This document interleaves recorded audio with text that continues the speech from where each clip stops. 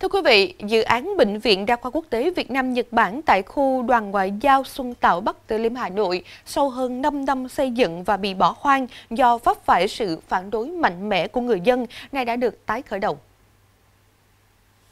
Theo đó, dự án Bệnh viện Đa khoa Quốc tế Việt Nam Nhật Bản, trước đây là Bệnh viện Ung bướu Quốc tế Việt Nam Nhật Bản, được khởi công xây dựng từ đầu tháng 3 năm 2017 do Công ty Cổ phần Phát triển Công nghệ Y học Việt Nam Nhật Bản làm chủ đầu tư, với tổng vốn đầu tư hơn 1.500 tỷ đồng. Bệnh viện này có diện tích là 4.800 m2, mặt sàn xây dựng là 28.000 m2, quy mô là 100 giường nội trú và 250 giường ngoại trú chất lượng cao.